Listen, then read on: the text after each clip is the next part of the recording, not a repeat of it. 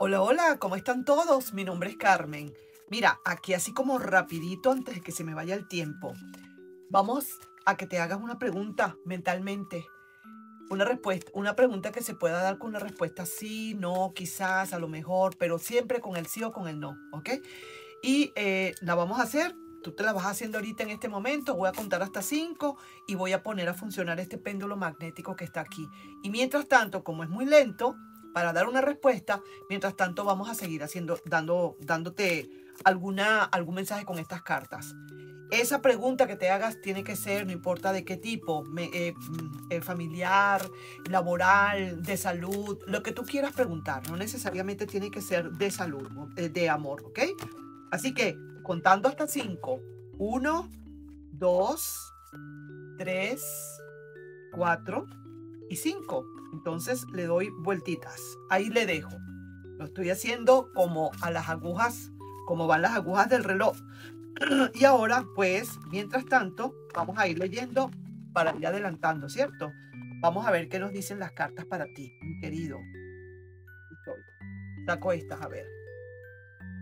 Una decisión que se está tomando, una decisión bien, pero bien importante. Voy a poner aquí para que puedas ver las cartas. Una decisión súper importante. Y la respuesta, por cierto, es sí, definitivamente, ¿ok? Me lo están sacando acá. Un tremendo sí.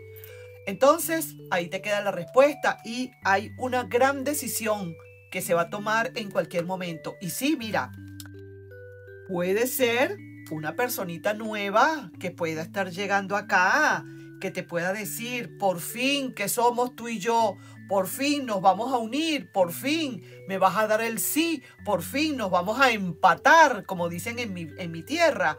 Entonces, es una decisión importante que ya prácticamente la tiene alguien en la palma de la mano. Lo que tienes ya que actuar. La respuesta es sí, de todas maneras, por este lado. No sé si es lo mismo que estás preguntando por aquí, pero aquí estoy viendo que va a haber aquí algo, que aquí algo se va a arreglar, que aquí va a haber algo que va a venir, alguna nueva relación. Y es una relación nueva.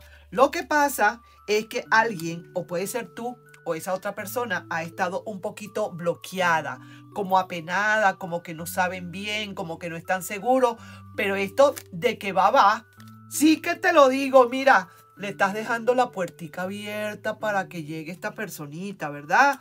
Picarón, picarona, ahí le estás dejando la puertica entreabierta para que llegue entonces y se ponga pues tome posesión de lo que le corresponde por ley divina. Sí que te lo digo, ¿sabes?